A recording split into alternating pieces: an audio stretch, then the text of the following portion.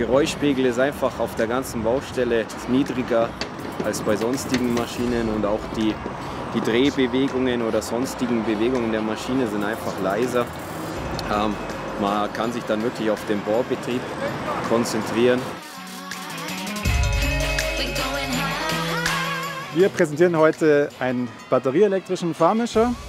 Das heißt, ich kann auf der Baustelle als auch auf der Mischanlage nahezu emissionsfrei den Methoden laden oder entladen. Das heißt, ich habe keine Dieselabgase, ich habe keinen CO2-Ausstoß und ich kann nahezu geräuschfrei arbeiten.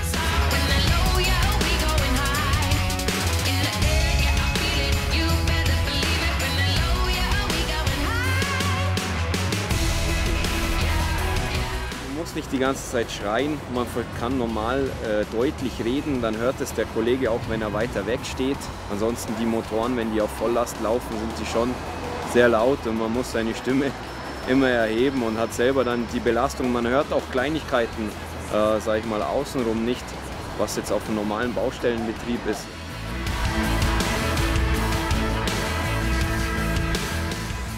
Wir haben nur einen Planeten und man muss auf die Ressourcen schauen, die wir haben.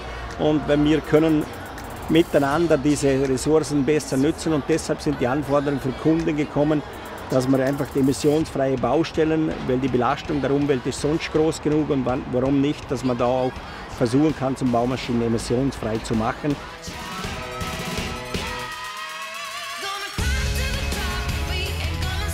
Das wird die Zukunft sein gerade innerstädtisch oder in anderen, in anderen Ländern. Ähm, aber wir würden sehr gerne weitere Projekte mit so einer Maschine durchführen, auf jeden Fall.